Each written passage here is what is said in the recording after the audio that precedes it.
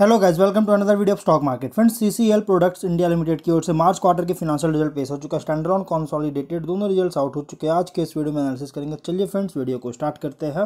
तो गाइज़ हम लोग आ चुके हैं कॉन्सॉलिडेटेड रिज़ल्ट तो गाइज़ यहाँ पे अगर हम लोग फिनेंशियल रिज़ल्ट देखें पेज तो गाइज़ यहाँ पे पेज जो है लैंडस्केप मोड में, और अगर मैं इसको स्क्रीन शॉट लेके अगर वीडियो बनाता हूँ तो गाइज़ आपको ये नंबर जो है फिनेंशियल रिज़ल्ट की आपको क्लियर शो नहीं करेगा। इसलिए गाइज़ मैं इसका स्क्रीन नहीं लिया उस डायरेक्टली पीडीएफ से मैंने वीडियो बनाई हूँ। और यहाँ पे गाइज़ अगर आपको थोड़ा सा मैनेज कर लेना होगा तो चलिए हम लोग इसके रिज़ल्ट पे चलते हैं। लैक्स में नंबर्स दिए गए। इनकम की अगर बात करें तो फाइव करोड़ का इनकम है, जबकि पिछले क्वार्टर में फाइव करोड़ का इनकम था, और मार्च ट्वेंटी क्वार्टर में थ्री नाइन करोड़ का इनकम था। Income quarter on quarter year on year दोनों में यहाँ पे तेज़ी देखने को, यहाँ पे क्वार्टर ऑन क्वार्टर में गिरावट है, लेकिन ईयर ऑन ईयर में तेज़ी देखने को मिल रहा है। एक्सपेंसेस है forty four hundred twenty seven crore का, पिछले क्वार्टर में four hundred sixty five crore था और मार्च ट्वेंटी टू क्वार्टर में थ्री हंड्रेड इलेवन करोड़ का एक्सपेंस हुआ था। यहाँ पे कैसे कंपनी एक्सपेंसेस भी डाउन हुआ है, जिसकी वजह से कंपनी प्रॉफिट बहुत ही शानदार तेज़ी आई है, जो कि इस बार का प्रॉफिट निकल के आया है। नाइन्टी फोर करोड़ का यहाँ पे ऑपरेटिंग प्रॉफिट है।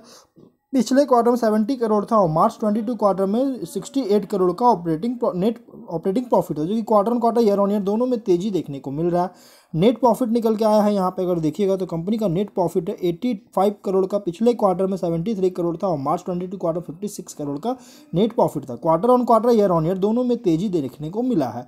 E P S six point four one rupees का है quarter on quarter year on year दोनों में यहाँ पे स्ट्रॉन्ग जंप देखने को मिला है। तो गाइज़ यहाँ पे अगर देखिएगा तो कंपनी का कॉन्सॉलिडेटेड रिज़ल्ट कंपनी यहाँ पे बहुत ही यहाँ पे अच्छी ग्रोथ हुआ, बस यहाँ पे इनकम में क्वार्टर ऑन क्वार्टर में गिरावट आई है अदरवाइज़ कंपनी बहुत ही शानदार रिज़ल्ट पेश किया है। अगर हम लोग बात करें यहाँ पे स्टैंडर्ड रिज़ल्ट का तो नंबर लैक्स में है।